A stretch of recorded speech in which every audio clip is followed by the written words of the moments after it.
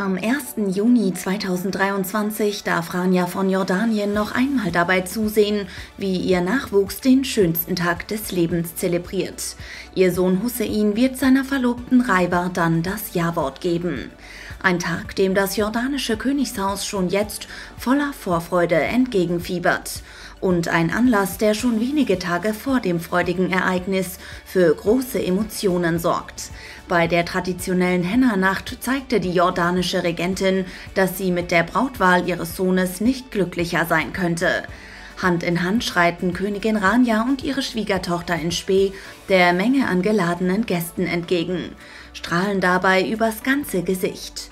Keine Frage, für ein erfülltes Leben und Glück in der Ehe hat Raiwa das Herz einer wichtigen Person bereits jetzt erobert. Das ihrer Baldschwiegermutter Rania. Auf den Aufnahmen, die die Ehefrau von König Abdullah nun teilt, sind rührende Szenen für immer festgehalten. Rania hält ein Mikrofon in der Hand, widmet dem neuen Familienmitglied Raiwa offensichtlich gefühlvolle Worte, die ihre Wirkung nicht verfehlen.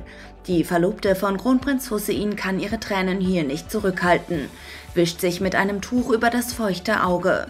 Wir feiern unsere schöne Raiwa, lautet die von der Königin gewählte Bildunterschrift zu den Fotos, die ans Herz gehen. Und schön ist auch zu sehen, mit wie viel Wertschätzung, Dankbarkeit und Liebe das jordanische Königshaus der Frau begegnet, die eines Tages neben Kronprinz Hussein auf dem Thron sitzen wird.